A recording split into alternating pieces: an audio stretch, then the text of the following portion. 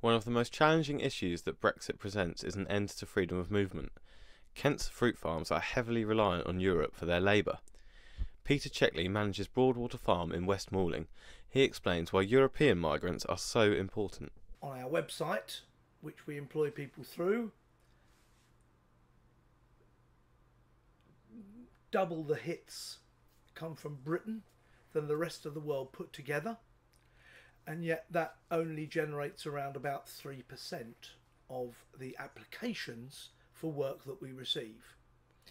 Most of the applications that we receive come from Europe. With such a large percentage of farm workers coming from Europe, an into free movement could make life very difficult for fruit farmers.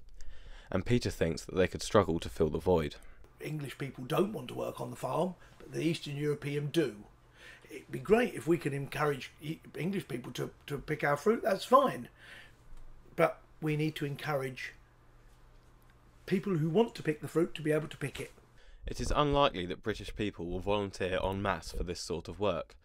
Those making the journey from Eastern Europe have a good reason for doing so.